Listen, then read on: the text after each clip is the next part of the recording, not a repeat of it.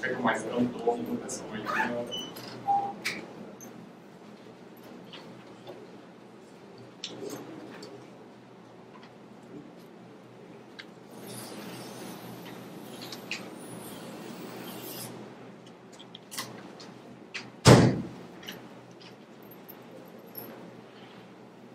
Două minute.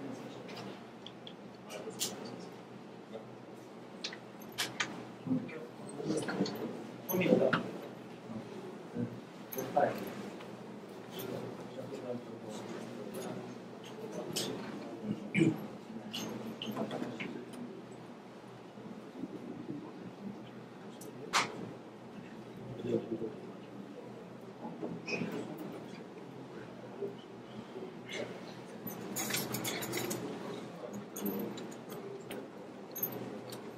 Nu mai urcă din colegi. Sunt curios să auzit cineva de Taylor în momentul de față. Ok. Vă mulțumesc.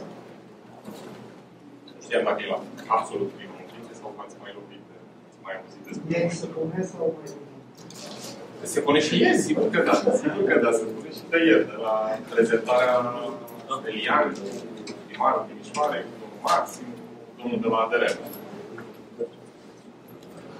Da, nu e... E un startup într-adevăr așa bugete mari de comunicare și de, de PR. Ne focusăm mai mult pe niște lucruri care funcționează, mai puțin să le anunțăm. Mai conservator. Da,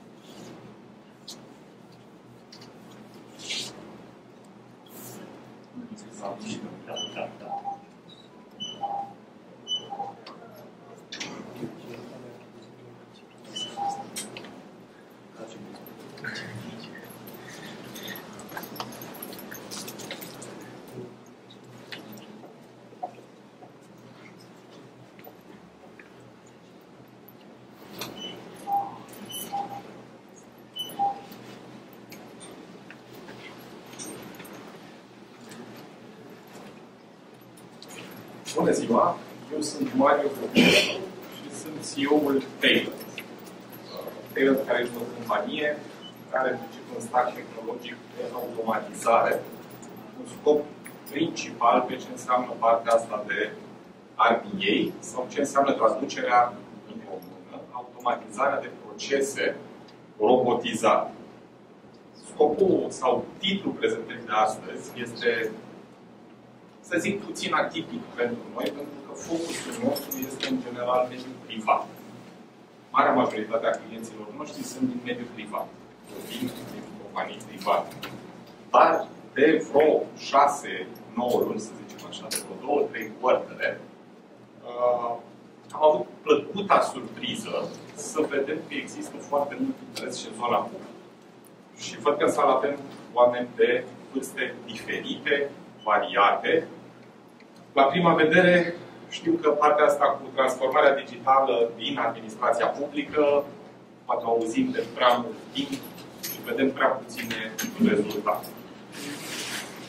Scopul nostru sau obiectivul nostru este să aducem o contribuție și mediului public, care pare să devină din ce în ce mai interesat de tehnologii noi și în special de tehnologia asta de a degreva factorul uman de activitate, că e repetitivă, că e enervantă. În general, nimănui nu-i prea place să facă niște procese repetitive, să cochisim aceleași și aceleași lucruri, pentru că greșim și nu e o problemă, nu e o situație negativă, greșim că suntem oameni și e normal să facem greșeli, în special când avem muncă repetitivă.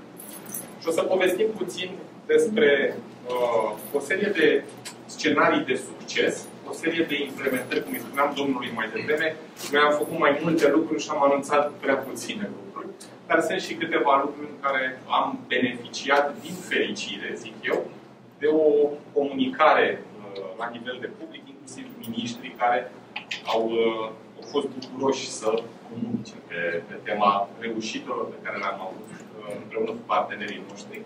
Și aș sublinia inclusiv cu partenerul care ne găzduiește în momentul de față, cu etatul O să încep cu un mic Totul are un început. Ministerul Investițiilor și Proiectelor Europene a folosit roboți RPA de la Thailand pentru a evalua cele 7188 de cereri de finanțare depuse de IMM-uri. Știu că am mai auzit-o că asta cu totul are un început, dar pentru noi este ceva cu care chiar ne mândrim. Mai ales în, faptul, în situația în care noi suntem o companie a unei tehnologii care mai are un exponent tot din România venit, care poate e listat la o bursă din altă, pe alt continent, să zicem așa, cu mult mai multe resurse, dar fără un focus neapărat în zona asta. Noi, prin proiectele astea din mediul public la care am participat, uh, am participat în singurul mod în care ne-am fi dat acordul să participăm în cel mai organic și transparent mod posibil. Primul, primul, inclusiv de la un proiect de consultare publică în care a spus noi știm să facem asta, tehnologia noastră e asta, dacă vă interesează, noi putem să fim de folos prin partenerii noștri de implementare.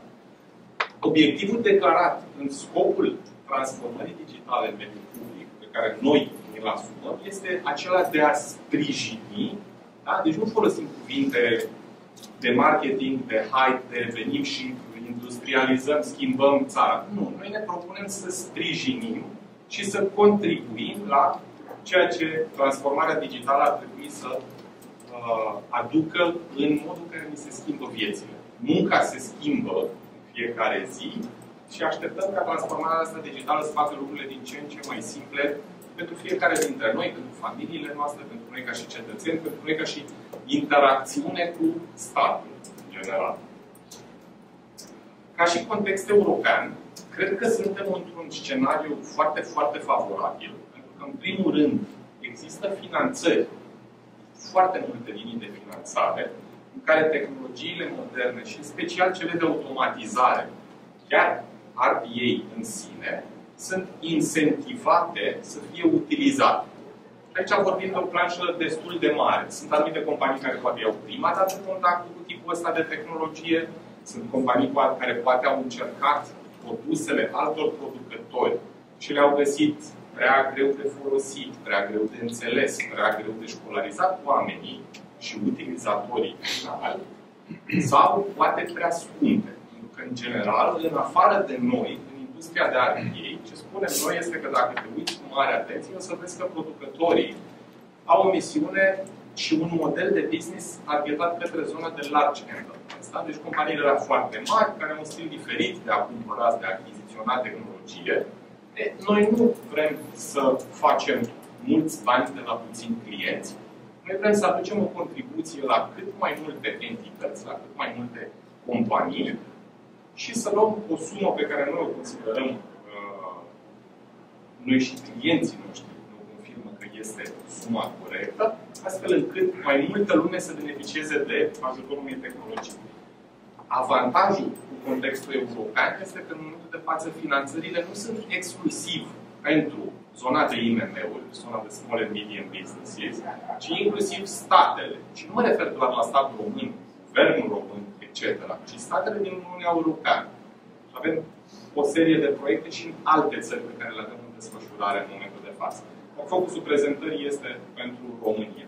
Deci ne uităm la sprijini ca serviciile publice digitale să fie din ce în ce mai aproape de cetățeni și de companii, de firme, să ajutăm la conectivitatea digitală cu unul dintre atributele principale ale tehnologiei, care este interoperabilitatea, deci posibilitatea de a schimba date între două sau mai multe aplicații, securitate cibernetică și, bineînțeles, întotdeauna e un proces de education toată lumea, competențe, competențe digitale crescute, cât mai mult capital uman familiarizat cu tehnologie digitală. Ca și o definiție. Sunt curios dacă poate să-mi dea cineva o definiție pentru a ei ce înțelegeți în momentul ăsta, la începutul, la începutul prezentării. Aia unor mișcări pe care le face om și reproducerea lor printr-un cod care imită activitatea E bine, asta este o componentă a conceptului de RPA și asta este cea mai îndelung folosită, pentru că acolo vedem un robot care este învățat, în ghilimele, să reproducă ceva ce un om făcea anterior. Exact ce spuneam mai devreme, mai ales pe procesele repetitive. Punem un robot, știe să facă, nu mai greșește, nu dă într-o parte sau alta. Dar definiția mai corectă a componentei astea vorbim despre UI automation doar. Deci RPA în sine are o serie de componente prin, printre care elementul ăsta în care interacționăm cu interfețe grafice, interfețe utilizator. Mai sunt câteva componente relevante, uh, iar tipul ăsta de automatizare e de obicei uh, datorat roboților attended sau roboți asistați de către om, într-un fel sau altul. Avem posibilitatea să avem roboți neasistați, care funcționează undeva, poate pe o mașină virtuală, într-o infrastructură specială, și nu au nevoie de interacțiunea cu factorul uman și nici nu au neapărat nevoia să interacționeze cu elemente sau ferestre grafice. Pot să fie să se conecteze prin API-uri la diverse surse de date, pot să schimbe date, pot să mute date, pot să creeze rapoarte, pot să îndeplinească o serie întreagă de acțiuni diferite. Cum facem chestia asta? Talent Automation Platform este o platformă, un stack tehnologic, dacă vreți, de automatizare care are, în primul rând, conceptul de Tap Studio, care este un IDE, Interface Development Environment. Ăsta e tool cu care iau naștere roboții. Aveți o poză mică aici cum arată canvasul respectiv pe care se modelează roboții respectiv și el este foarte, foarte uh, atent gândit încât să fie la o intersecție a unui utilizator care are niște capabilități analitice atenție, subliniez capabilități analitice, nu certificări de programator, C Sharp, C++, Java, etc. Ce considerăm noi este că în momentul în care pui un robot la treabă, dacă ne uităm pe termen lung, s-ar putea să apară și niște modificări la aplicațiile cu care interacționează, la procesul respectiv. Și atunci n-ar fi frumos să putem să desenăm un proces de genul ăsta pe un canvas în așa fel încât la un moment dat în care apare o schimbare, să putem interacționa, să intrăm doar într-un anumit element și să facem acolo schimbarea, să putem publica robotul ăsta pentru producție foarte rapid, e, noi putem să facem treaba asta și din ce ne spun clienții și partenerii noștri, mai simplu de atât nu se poate. Bineînțeles, una dintre misiunile noastre este ca în fiecare zi să fie mai simplu decât a fost ieri. Întotdeauna se poate mai bine. Vă rog doar pe Windows? Uh, depinde, poate să fie și în browser, spre exemplu, și atunci se poate acționa, se poate utiliza și de pe alte sisteme de operare, dar în general, cumva, marea majoritate a utilizatorilor preferă partea de Windows. Preferă, pentru că vine ca un uh, aplicație Fat Client, da? o aplicație care este în general integrată cu ce înseamnă procesele care funcționează cu mașină Windows și de cele mai multe ori procesele care se automatizează sunt în companii care nu prea folosesc sisteme de operare diferite. Și aici e o discuție întreagă de care Windows. Pentru anumite sisteme, dacă vorbim de roboți asistați, vorbim de sistemele Windows clasice. Dacă vorbim de roboții neasistați, care pot să-și facă treaba în spate, fără să-i vadă nimeni că ce să facă, atunci o să vorbim de un Windows Server, lucruri de genul ăsta. Mergem către zona enterprise. Backup Assistant este componenta care îți permite rularea roboților asistați, în special roboții asistați vorbind. Și dacă vreți o aplicație cât se poate de simplă, care puteți să o asemănăm, nu știu, un player de muzică. Ai roboții dezvoltați, ți încarci în Tap Assistant, îi dai run și îl lași să-și facă treaba. Iar Tap Orchestrator momentul în care clientul final ajunge la o masă critică sau în momentul în care are dezvoltat un număr mai mare de roboți, va exista necesitatea să ai un sistem de management al unei flote de roboți.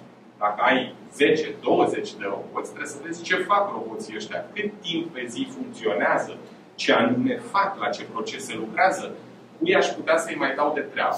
Pentru că atât, de, atât timp cât vorbim de ro- roboții asistați, în primul rând trebuie să ne gândim că avem, hai să o luăm așa, dacă vrem să săpăm o groapă și avem o casma, cu o singură casma putem să săpăm oricâte gropi. La fel cu un singur robot putem să automatizăm un flux, un număr mai mare decât unul de procese. Aici discuția este despre cum modelăm procesele respective și dacă vorbim de procese blocante sau neblocante. Dacă avem un uh, proces, de exemplu, care zice ascultă pe adresa asta de e-mail să vezi când vine un e-mail cu subiectul ăsta și ne așteptăm ca la subiect, la mailul ăsta să fie atașat un PDF inteligent, un Excel, etc., atunci suntem într-o situație în care procesul respectiv ne pune să blocăm un robot să asculte tot timpul pe suța aia de e-mail și să înceapă activitatea lui în momentul în care se întâmplă acest trigger. Și atunci devine necesară utilizarea platformei de orchestrare a unei flote de roboți pe măsură ce uh, amprenta roboților în interiorul organizației crește. Ca și susținere europeană, v-aș sublinia faptul că marea majoritate a tipurilor de finanțări implică criterii DESI. O parte dintre noastre probabil sunteți familiari cu acest concept. Cei care nu sunteți neapărat familiari cu criteriile astea, ele zic Digital Economy and Society Index. Asta înseamnă DESI și zic cât de digitalizată este o entitate sau societatea în sine. Și mai multe tipuri de tehnologii, nu doar ATI, subliniez asta, contribuie la creșterea indexului ăsta. România este pe cel mai, cea mai din dreapta poziție, din păcate e cea mai jos ca și punctaj, dar asta înseamnă și o oportunitate că putem să ne reinventăm și să dezvoltăm competențele astea, astfel încât să susținem practic o economie mai stabilă. Să zic. Acum, ce am observat noi? Până să trecem la exemplele clare, uh, sunt patru lucruri mari și late, patru probleme și am vrea să subliniem soluțiile pe care tehnologia și, în general, ecosistemul nostru de parteneri le rezolvă.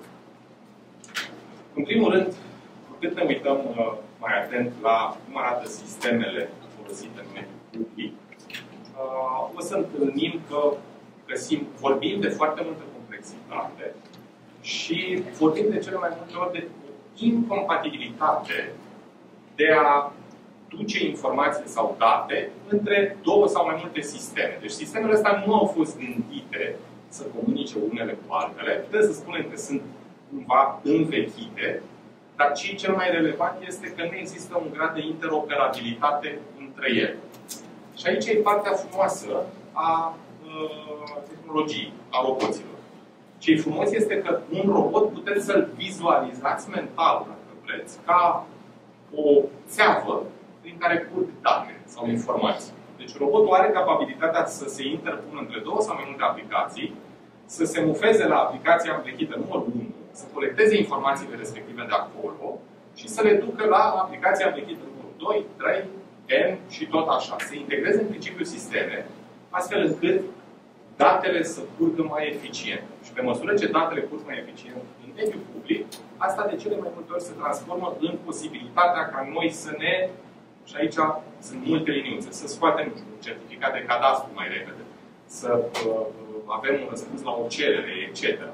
Știu că la prezentarea de ieri, uh, cetățenii din Timișoara sunt foarte, foarte favorizați, mi se pare mie cel puțin, că aveți deja vreo 300 și ceva de procese care uh, sunt digitalizate și puteți să le rezolvați acasă. Și curios cât ați încercat din, uh, dacă a încercat cineva platforma asta nouă apărută, a pus la treabă, cerut ceva.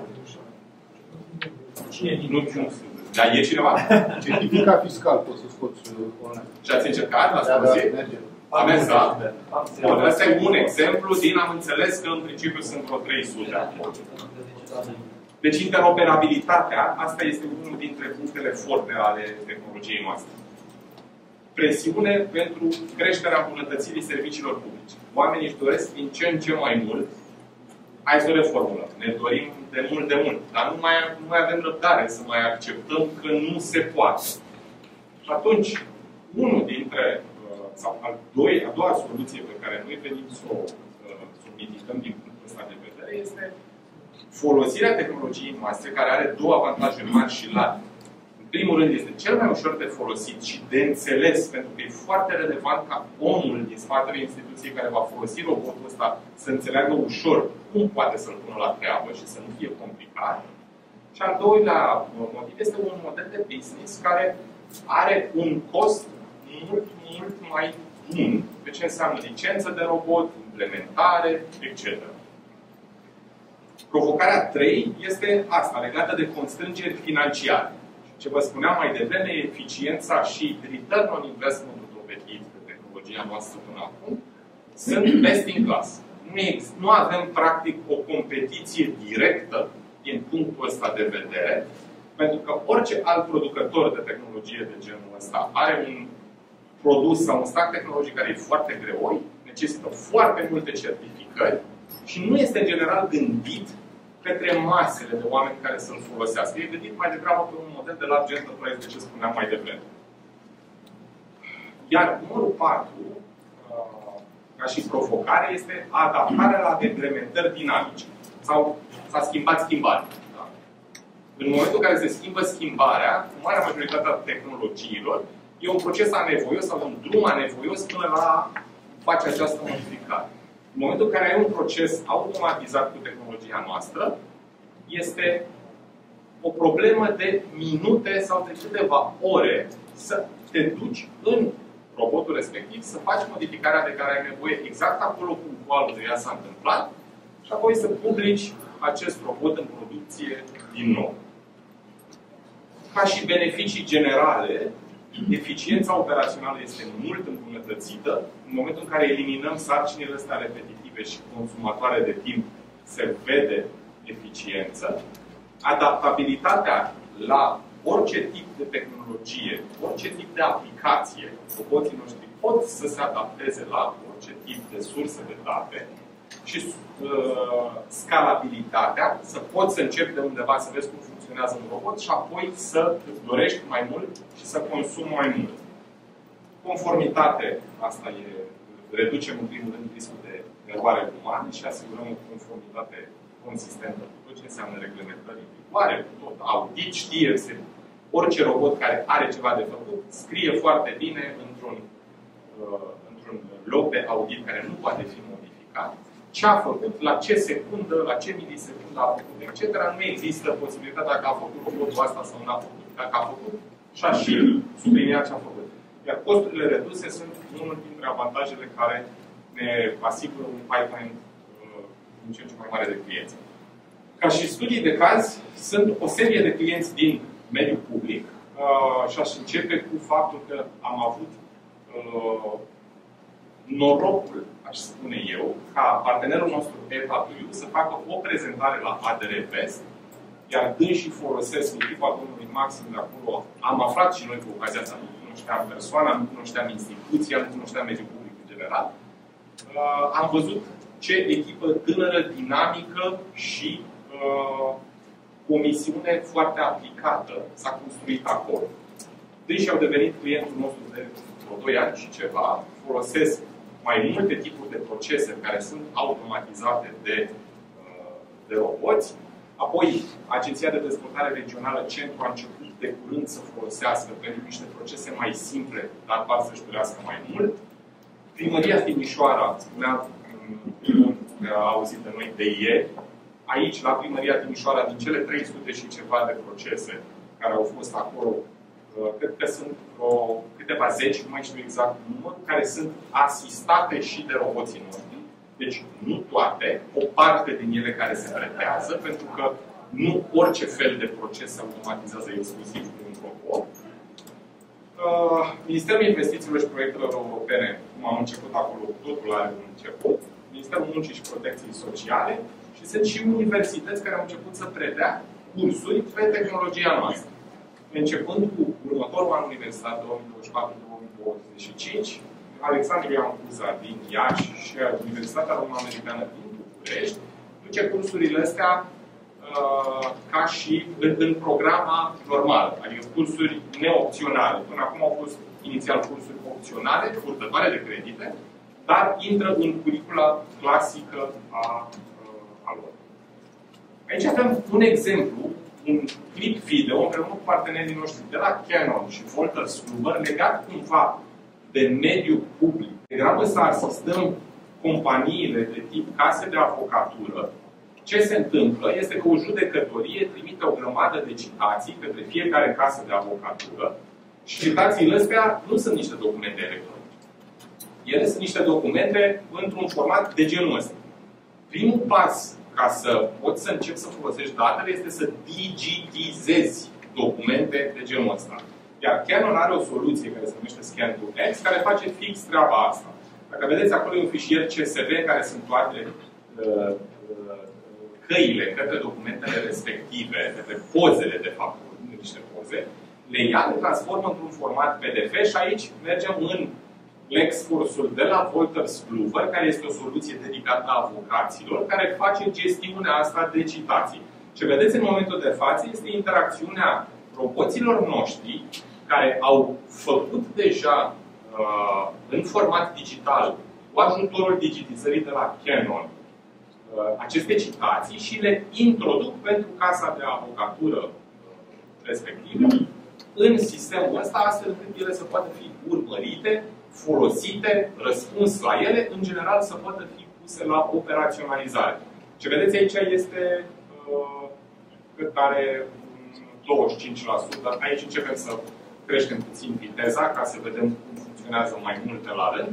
Dar ăsta ar fi fluxul legat. Sunt judecătoriile, care sunt uh, judecătoriile din România. Ele au aceste citații pe care le trimit către casele de avocatură și întrebarea a fost cum facem să optimizăm treaba asta, pentru că era foarte consumatoare de timp, fără să trimită nimeni pe nimeni acasă. Scopul n-a fost să vedem cum dăm afară persoana care se ocupa să proceseze citații. Scopul a fost, hai să degrevăm puțin timp, pentru că nu apucă să-și facă treaba foarte bine. Nu apucă să-și termine treaba la timp și atunci avem chiar și unele pierderi financiare. Uh, aici este clipul pe care uh, l-ați, uh, poate o parte din noastră l-ați văzut referitor la ce se întâmplă la Primăria Timișoara. Și avem aici, pe foarte, foarte scurt, unul dintre procesele care este un proces intern, deci de back office în interiorul primăriei, nu este un proces uh, către cetățean, este corelarea tuturor facturilor de la furnizor din e-factura și introducerea lor pe un flux de aprobare, acolo unde este cazul, pentru că unele nu necesită aprobare efectivă, dar unele necesită aprobare. Și ce fac roboții noștri? Merg pe, pe site-ul ANAF, iau acele uh, fișiere cu un zip sunt în spate, le transformă în PDF-uri, le introduc în platforma Webcon, care, a fost, uh, care este folosită de primăria Timișoara, fișiere convertite în PDF, și apoi introduc în formularele respective, exact cum zicea uh, domnul de mai devreme care ne-a dat prima definiție la RPA, folosim interfața grafică, exact ce ar fi făcut omul, doar că le punem la... Asta e viteza reală cu care se întâmplă lucrurile aici. Nu știu ce autentificare în spate în cazul în care există two-factor authentication pe platformă. Two-factor authentication. Dacă există... SMS sau unde trebuie interacțiune umană. Uh, în momentul în care vorbim de two-factor authentication, out of the box avem o singură variantă, aceea în care acel two-factor authentication vine cu o adresă de mail. Dacă e vine pe o adresă de mail, avem un template bine stabilit la mailul respectiv.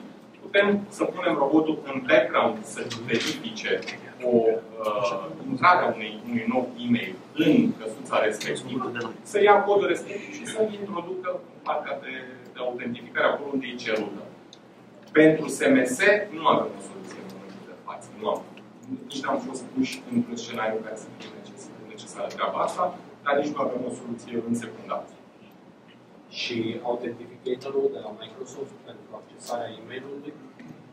Uh, suportăm o serie diferită de protocoale, inclusiv uh, pe Microsoft Office 365.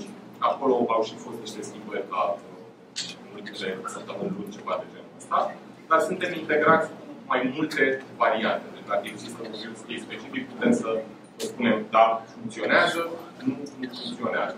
În principiu sunt acoperite în marea majoritatea protocolelor de tip Aici nu pot să intervin o mare problemă și poate doar exact cu de întrebare.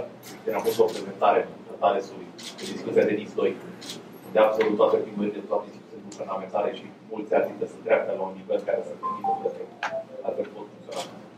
Da, e o discuție, e un challenge. E cu siguranță un challenge, dar dacă ne punem cu toții mintea la, la contribuție, întotdeauna găsim soluții. Asta e cu siguranță clar. Important este să aibă sens și financiar. Este un lucru important.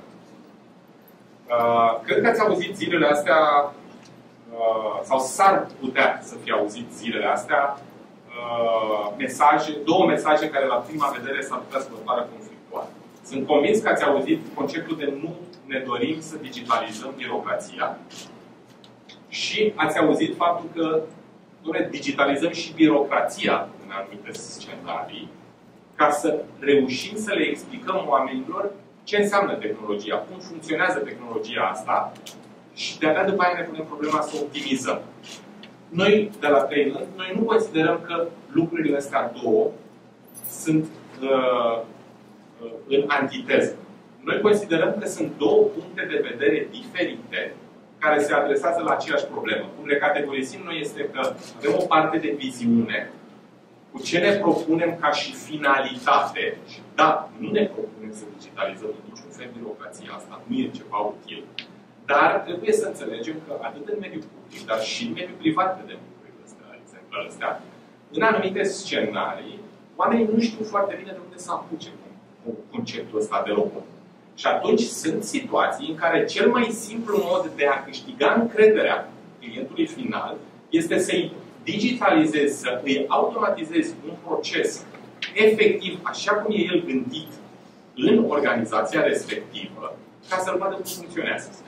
În momentul în care l-a văzut că funcționează și înțelege că nu pleacă nimeni acasă, ci că compania respectivă o duce mai bine, că e mai eficientă, cu atât mai mult ce ne place în mod foarte mult este să vedem oameni care, după ce au trecut în partea hai să vedem, de reticență, da? Hai să vedem, merge, nu merge robotul ăsta, apoi vin cu idei. Zic, n-ar fi bine să facem asta, n-ar fi ok să facem asta, vă rog. Apropo de ce ați spus, am, am o întrebare. Ați putea sta vreodată și dacă da, din punct de vedere al cost effectiveness-ului, să nu digitalizezi birocrația sau să digitalizezi și după aia să modifici prin optimizare. Uh, din punct de vedere al cost effectiveness Depinde foarte mult de proces. Depinde foarte mult de proces. Dacă procesul este unul foarte complex, avem o problemă că ajungem în situația în care digitalizăm birocrația. Ce încerc să zic este că lucrurile astea nu sunt neapărat în antiteză și că trebuie să le, sunt unghiuri diferite din care se privește și amândouă valide. În momentul în care ne dorim să familiarizăm un client sau o entitate cu tehnologia și să capete încredere în ea, că nu au venit extraterestri și ne dau pe geam afară, atunci alegem un proces mai simplu. Oamenii îl văd, e palpabil, îl înțeleg, se obișnuiesc cu el și vin cu idei. Și atunci ajungem în scenariul în care ne propunem ca pe termen lung să nu ajungem să digitalizăm birocrația și să... complexe. Exact. Iar mediul public oricum are particularitățile lui. Tipurile de achiziții sunt diferite, cumva e și favorizat într-un fel sau altul un proiect mai mic care să-ți, să-ți de, uh, dea un pic mai multă vizibilitate asupra ce înseamnă tehnologia respectivă privată la fel. Bineînțeles. În public să zicem că e mai acută, dar și în privat. Perfect de dreptate. Așa este. Aici este o nuanță.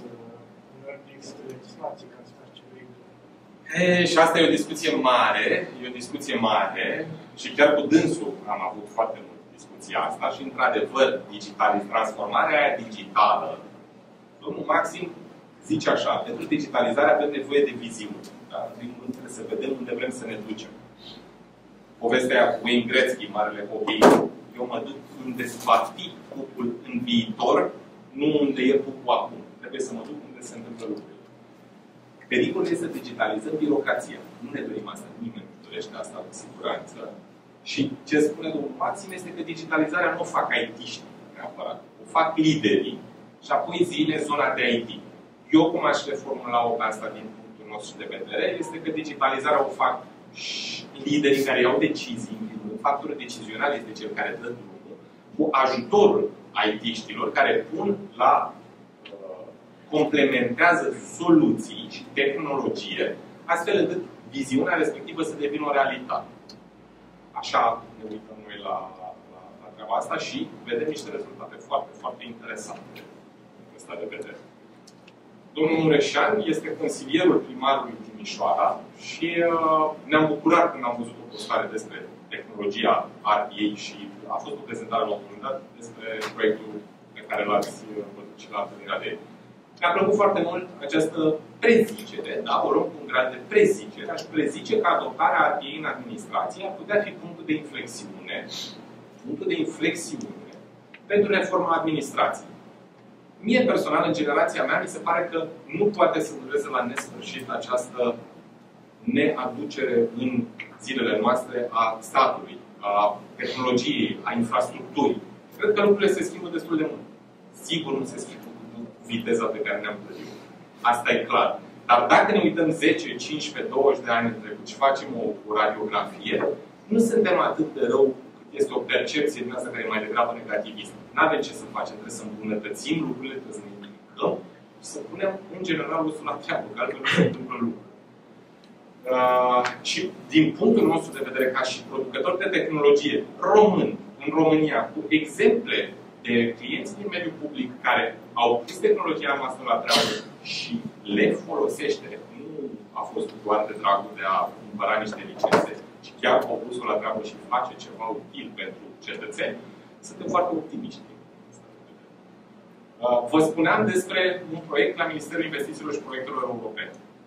Tehnologia noastră a creat această premieră de folosire a roboților software în administrația publică centrală pentru un proiect de la MIPE, care uh, are ca, avea ca scop, că s-a întâmplat uh, în final de anul trecut, acea digitalizare a IMM-urilor, uh, cele 350 de milioane de euro trebuiau date către companii de tip IMM, iar ce au făcut roboții noștri, uh, s-au conectat la platforma proiecte pnrr.gov.ro, au evaluat toate documentele pe care aplicanții le-au introdus acolo, pe baza, și pe baza unor fișiere de tip Smart PDF, deci ca să putem să digitalizăm, trebuie să și ajutăm roboții cum să citească datele astea. Dacă le dăm surse de date eficiente și corecte, atunci putem să garantăm acuratețe de 100%. Dacă mergem să luăm niște copii după niște lucruri printate, vă rog. Mai mult decât conformitatea documentelor. La ce vă referiți exact? Adică trebuie să existe document, o listă de Da, documente. da, da, da, da, da, da. Dar și Nu doar contextul. existența lor, contextul din interiorul documentelor. Sumele introduse, detaliile, cuiul firmei, toate astea, domeniul de activitate, până la un anumit, adică lucrurile care se cer să fie completate. Dar nu ne oprim aici. Ulterior, procesul de evaluare din spatele uh, apelului ăsta de la mine presupunea ca factorul uman să se ducă să verifice că ce a declarat omul acolo e adevărat și că firma respectivă îndeplinește o serie de criterii. Cumva, grila de evaluare, fișierul Excel consolidat, care a dat lista, ca la listă de admitere, avea 240 ceva de coloane, date de la ANAF, ONRC, Ministerul de Finanțe, roboții s-au conectat la toate sursele astea de date și au degrevat factorul uman să ia cui cu cui și să caute în sursa 1, în sursa 2, în sursa 3, etc. Și au ajuns să creeze această listă. A durat foarte mult, dar în primul rând premiera a fost de faptul că a fost foarte greu de gestionat din punct de vedere al guvernului, cum facem cu sursele astea de date care vor fi duse la niște roboți, cum fac roboții, cine ce și asumă. Și protocolul interinstituțional ca să-i permită lumii pe accesul la toate datele astea într-un, într-un context de digitalizare, a durat vreo 4-5 luni. A- Asta a fost o perioadă, un, un, un overhead. Uh, întâmplarea face că domnul Adrian Câciu era ministru la Ministerul Investițiilor și Proiectelor Europene când s-a finalizat proiectul. Când a început proiectul, era domnul Boloș, care e ministrul la finanțe, și ne-am bucurat că, într-un mod cât se poate de organic din nou, dânsul a și menționat faptul că în spatele tehnologiei folosite, implementate în premieră pentru România, la acest nivel, de instituție publică centrală, dă chiar o companie românească. Lucrul ăsta pe noi chiar ne-a bucurat foarte mult, pentru că nu l-a cerut, nu ne văzuse niciodată, dânsul nu știam, nu știam de unde să luăm. Dacă îmi permiți. Uh, Vorbim de companii românești, deci am mai devreme de un alt uh, unicorn care este riscat undeva. Uh, și acel unicorn are o cotă de piață destul de semnificativă. Ce ar însemna pentru mine ca și organizație să transpun toate automatizările făcute, toate RPA-urile făcute în N-am prezentarea aia la mine, că după, după slide-ul cu Q&A, în prezentarea care trebuia să-ți răspundă ție, mai aveam un slide cu o componentă tehnologică care se numește Talent Automation Platform Migration Wizard. Ceea ce înseamnă că ai un tool cum sunt la telefoane. Android, iOS, iOS, Android. Vrei să treci de la Android la iOS? Merge la fel de bine primul. Nu, nu, nu, nu, nu. nu. Uh, în primul rând, fiecare componentă tehnologică, e lungă povestea și nu mai am timp, dar în principiu avem un tool de migrare care îți permite să faci pe o parte un robot de la vendorul A și să scoți robotul de la B, care vine cu modelul lui de business, cu costurile reduse, cu gradul de utilizare mult, mult mai ridicat, etc.